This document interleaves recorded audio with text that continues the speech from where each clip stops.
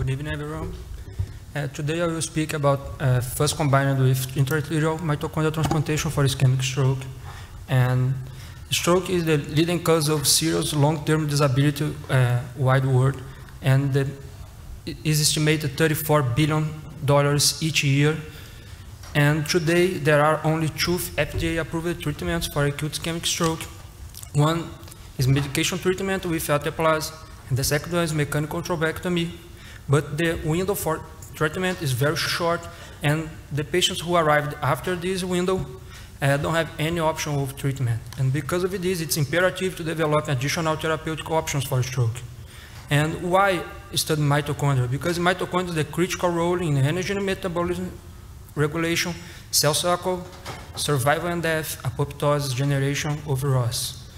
And we got that idea from the group of Harvard that they, uh, they studied mitochondrial transplantation for myocardial ischemia and reperfusion injury, and the same group published the protocol for rapid isolation of mitochondria, and the last paper is the transfer of mitochondria for astrocytes to neurons after stroke, and this group showed that mitochondria has activity into the extracellular space, and because of this, it encourages us to start studying mitochondria for stroke brain.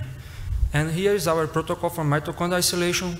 We get two pieces of mitochondria with, six, uh, with muscle with six millimeters each piece, and after bring it to the homogenizer uh, machine and make a single cell suspension.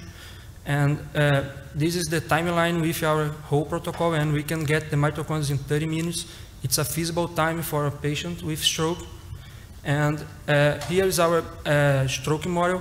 We introduce the filament with 10 millimeters into the common carotid artery and place it at the origin of the MCA artery and keep it at per uh, one hour, and after one hour we reperfuse and deliver 2 million mitochondria into the internal carotid artery. And our first experiment, we stroked the mouse, and one group we delivered PBS intraarterial, and another group we delivered mitochondrial arterial, and after sliced the brain and did TTC staining and the result was insignificant between the groups with n equals 5. And our first question is, do mitochondria get to brain?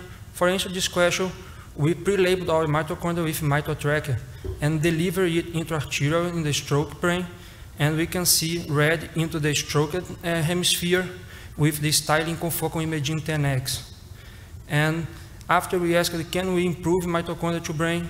And for this question, we stroked the mouse and we deliver Evans Blue for no stroke, Evans Blue for stroke, and Evans Blue for stroke plus FUS. And we could see much more uh, uh, Evans Blue into the group, the first group with relevant results.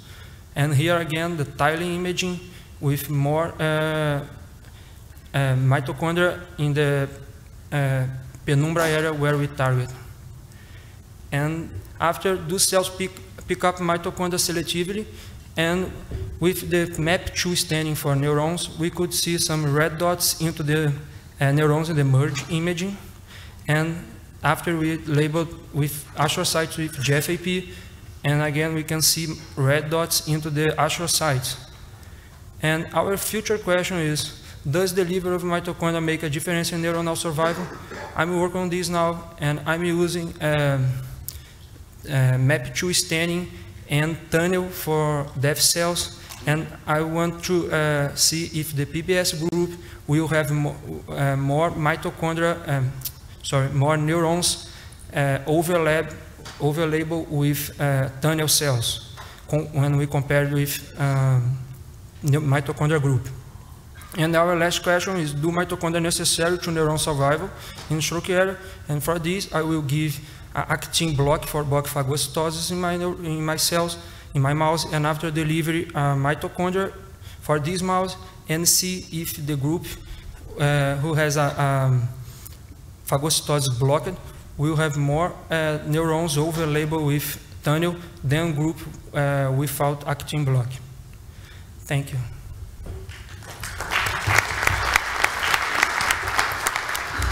Um, just to clarify, I just want to understand your goal is to deliver mitochondria in area of penumbra and benign oligemia or to deliver into the infarcted tissue? or I deliver uh, intraarterial and whole, uh, it distributed in whole hemisphere. And after I'm uh, get imagings from 20x from um, core area, penumbra area, and normal tissue. And I'm count each, uh, each region and compare the results. So what's the what's the distribution after you you, you did intraarterial injection, right? Sorry? You did intraarterial injection Yeah. after the first. So where is the distribution of these mitochondria? Is it into do you get more into the penumbra tissue or do you get more because into the infarcted the tissue? penumbra area, and I got more in, in, in penumbra area than other areas of the brain. Yes, but because stroke uh, by itself open the blood-brain barrier, and we will get some uh, mitochondria in other areas of the brain, but uh, we could increase the, the number of mitochondria where we target. Yes. Thank you. Any other questions?